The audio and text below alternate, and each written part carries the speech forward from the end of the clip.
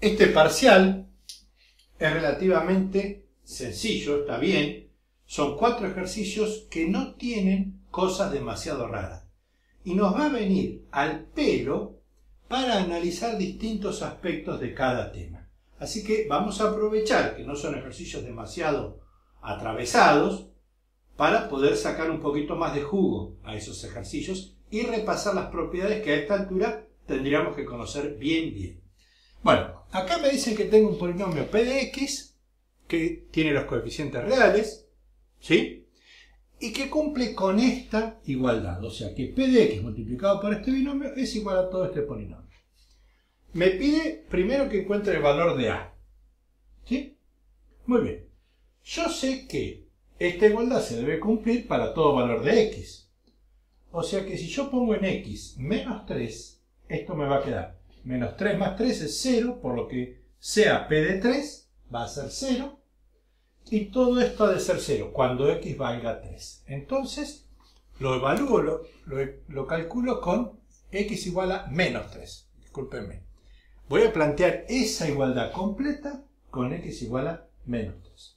Digo, menos 3 a la cuarta más 6 por menos 3 al cubo más 13 menos 3 al cuadrado por menos 3 más a igual a menos 3 más 3 por p de menos 3. Que esto no lo sé ni me interesa. Yo sé que esto vale 0. Si esto vale 0, esto por esto sí o sí es igual a 0. Y esta parte es lo que a mí me sirve. Entonces tengo menos 3 a la cuarta es 81. Acá tengo 100, perdón, base negativa, exponente impar es negativo, por este es menos, es 162. Esto es 9 por 13, 117. ¿Sí? Positivo, esto es menos 48 más A igual a 0. Haciendo todas esas cuentas, creo que no me equivoqué en ninguna, me queda que menos 12 más A debe ser igual a 0. Por lo tanto, A vale 12. Ya tengo solucionado parte del ejercicio. Ahora voy a decir, si yo tengo este polinomio, x a la cuarta, más 6x al cubo, más 13x cuadrado, 16x, más 12, y es igual a p de x, cambio el orden por x más 3, y acá esto es 0, acá hay un resto 0, estoy armando el algoritmo de la división, que decía que si un polinomio se podía escribir así, y esto era de grado menor que este, a esto lo llamábamos divisor, o a esto divisor y a esto cociente. Podría haber sido al revés. Yo sé que este resto es 0 porque acá no hay nada, no me dicen que estoy sumándole algo. Es más, los voy a borrar. Lo que yo necesito es hallar el cociente entre este polinomio y este otro. ¿Sí? Tengo que dividir todo este polinomio por este. Fácil, con la regla Ruffini. 1, 6, 13, 16, 12. Acuérdense que esto lo tengo que ver como menos algo, o sea, menos menos 3. Ese menos 3 viene acá, este viene acá, bajo el 1 y hago la regla Ruffini.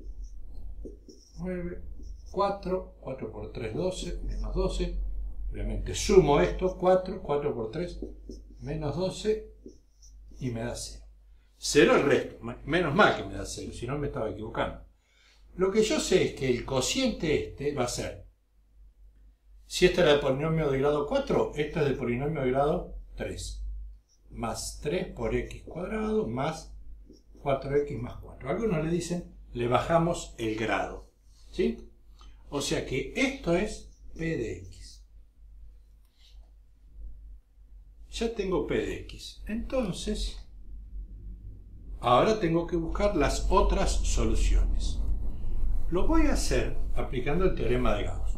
Como este pertenece a los polinomios con coeficientes enteros en x, yo digo, si hay raíces racionales, van a estar formadas por Todos los divisores de este, o sea, más menos 1, positivos o negativos, son divisores, más menos 2 y más menos 4, dividido los divisores de este, que simplemente es el 1. Si yo veo que P de X, lo paso en limpio, es X al cubo más 3X cuadrado más 4X más 4, los valores que son más 1 sobre 1, más 2 sobre 2, más 4 sobre... Perdón, más 1 sobre 1, más 2 sobre 2, más 4 sobre 1, que son posibles valores positivos, ninguno de esos me va a dar 0, porque acá tengo todo sumado, todo positivo. Si meto valores positivos, jamás me va a dar 0. Así que ni los miro ese. Voy a probar con los negativos. Menos 1 sobre 1. A ver. P de menos 1. Me queda menos 1 más 3 menos 4 más 4 es distinto de 0. Ahora pruebo con menos 2. P de menos 2. Me queda menos 2 al cubo más 3 por menos 2 cuadrado más 4 por menos 2 más 4. Esto es menos 8 más 12 menos 8 más 4. Y da 0.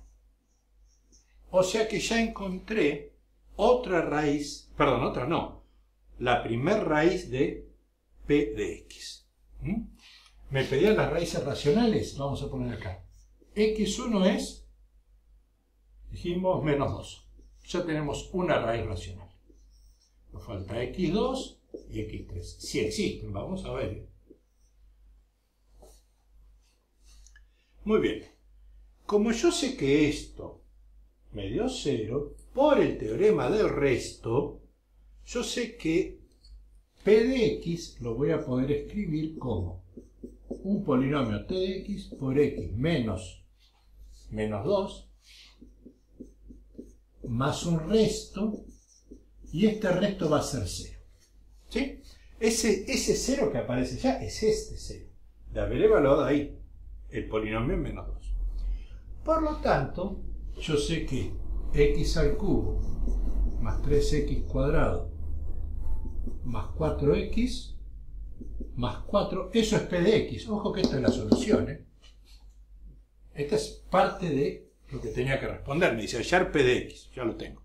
Bueno, ahora voy a dividir este polinomio por esto, usando Rofini. ¿Mm? Pongo los coeficientes, llevo este menos 2 acá, siempre tiene que quedar un menos ahí, bajo el 1, 1 por menos 2, menos 2, sumo, menos 2, 2, menos 4, 4 menos 4, 5. Ese es el resto. ¿Sí? ¿Y cuál es el cociente? x cuadrado, si esto era cubo, esto es x cuadrado más x más 2. O sea que mi p de x es este polinomio t de x, x cuadrado más x más 2 por x más 2. De acá voy a sacar las otras dos raíces. ¿Sí? De plantear que esto es igual a 0. Muy bien. A ver, ahí tengo que hacer la fórmula de la ecuación de segundo grado, la fórmula de Pascal. Y me queda que si yo planteo que x cuadrado más x más 2 es igual a 0, x, 2, 3, las que me faltan serán menos b, menos 1 más menos la raíz de 1 al cuadrado menos 4 por 1 por 2, todo sobre 2 por 8 menos 1, 7, raíz de menos 7, sobre 2. Esto era 1 bueno, vamos a plantearlo así. x2 es igual a menos 1 más la raíz de 7 por i, y x3 son números complejos, todo esto dividido 2, menos 1 menos la raíz de 7 por i sobre 2. Estas dos raíces no son racionales. La única raíz racional ¿sí? es menos 2. Esta x2 Allá dice raíces racionales. Esta no pertenece a los racionales. Y esta tampoco pertenece a los racionales. Pertenece a los complejos. Ahí quedó. Si me hubieran pedido factorearlo, factorearlo de complejos, como multiplicación o productoria de factores irreductibles, me queda. Esto está factoreado como con polinomios pertenecientes a coeficientes reales, polinomios con coeficientes reales en x. Y si yo factoreo esto, pongo x menos una de estas, menos 1 más raíz de 7i sobre 2, x menos menos 1 menos raíz de 7i sobre 2 por x más 2. Todo este polinomio pertenece a los polinomios con coeficientes complejos. Perdón, cada uno de estos, ¿eh? con coeficientes complejos. Esto no me lo pide. Y algo muy saludable es siempre no hacer lo que no me pide. Yo porque tengo el vicio de tratar de sacarle un poquito más de jugo al ejercicio. Pero si no me piden en el ejercicio que lo factoree, cierro la boca, dejo la lapicera y esto ni lo escribo, ni lo pongo. De hecho, no me lo pedí. Cuidado con ese detalle.